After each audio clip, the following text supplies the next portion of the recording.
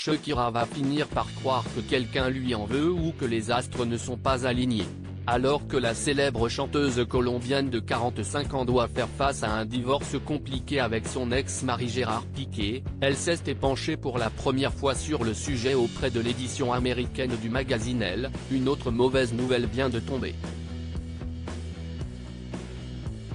Accusé d'avoir soustrait 14,5 millions d'euros au fisc espagnol entre 2012 et 2014, Shakira va être jugé pour fraude fiscale, ont annoncé mardi les autorités judiciaires espagnoles. La date de ce procès qui se tiendra devant le tribunal provincial de Barcelone, nord-est de l'Espagne, doit encore être fixée. Clamant son innocence, la chanteuse avait fait savoir fin juillet qu'elle refusait de sceller un accord avec le parquet, disant préférer la tenue d'un procès à cette procédure de plaider coupable. Le parquet avait indiqué quelques jours plus tard qu'il demanderait une peine de plus de 8 ans de prison et une amende de près de 24 millions d'euros contre l'interprète des hit-tips dont Lee, Waka Waka ou Loka. Selon l'accusation, Shakira vivait en Espagne depuis 2011, année où sa relation avec le footballeur du FC Barcelone Gérard Piqué a été rendue publique, mais avait maintenu sa résidence fiscale aux îles Bahamas, considérée comme un paradis fiscal, jusqu'en 2015. La défense de Shakira affirme pour sa part que jusqu'en 2014, ses revenus provenaient principalement de ses tournées internationales ou de sa participation à l'émission The Voice aux États-Unis et qu'elle ne vivait pas plus de six mois par an en Espagne, condition requise pour établir sa résidence fiscale dans le pays.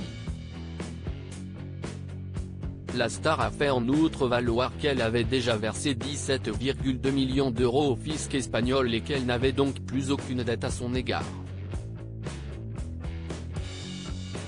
Je ne dois rien au fisc ces accusations sont fausses, avait marqué Shakira la semaine dernière dans son interview accordée au magazine Elle, assurant qu'elle était à cette époque en tournée la majeure partie de l'année et ne pouvait donc pas être considérée comme résidente fiscale en Espagne.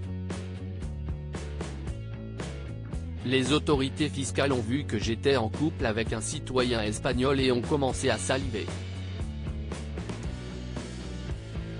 Il est clair qu'ils voulaient cet argent sans se soucier de comment ils allaient le faire, avait-elle ajouté.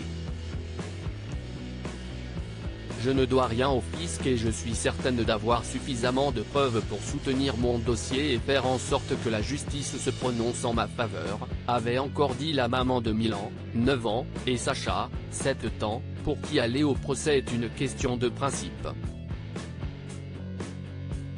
Le nom de Shakira figure par ailleurs parmi ceux cités dans les Pandora Papers, une vaste enquête publiée fin 2021 par le Consortium international des journalistes d'investigation, accusant plusieurs centaines de personnalités d'avoir dissimulé des avoirs dans des sociétés offshore, notamment à des fins d'évasion fiscale.